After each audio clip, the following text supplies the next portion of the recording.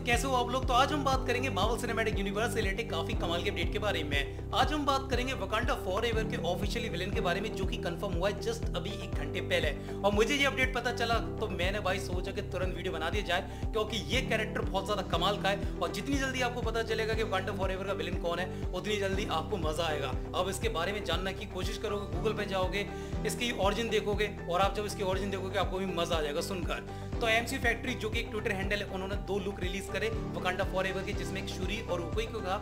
आप मेरी स्क्रीन पे देख सकते हैं। तो ये लुक में तो ज़्यादा कुछ खास नहीं, पर जैसी दूसरा मैंने देखा, भाई मैं पागल हो गया।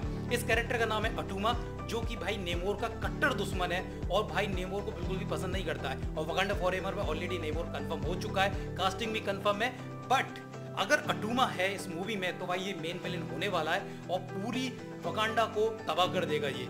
ठीक है, इस टाइप की इसमें पावर्स हैं। और नेवोर शायद इन्हीं वकांडा की मदद करेगा, तब जाके एक नया कैरेक्टर सुपर हीरो में इंट्रोडक्शन कराया जाएगा वकांडा फॉर एवर में। तो अटूमा अगर इस मूवी का मेन विलेन है तो गाइस लिटरली मज़ा आने वाला है। और ये देखिए फ़र्स्ट लुक जो कि कितना ज़्यादा कमाल का लग रहा है और अच्छा लग रहा है। आपको ये कैरेक्टर कैसा लगा? और अटूमा से आप क्या एक्सपेक्ट करते हो कि ये क्या मूवी में धमाल मचाएगा? मुझे कमेंट सेक्शन में ज़रूर बताना। और उसी के साथ अगर आपको जो सुपर फास्ट अपडेट पसंद है तो वीडियो को लाइक करना शेयर करना। तो गाइस आज के लिए इतना ही। Thank for watching this video bye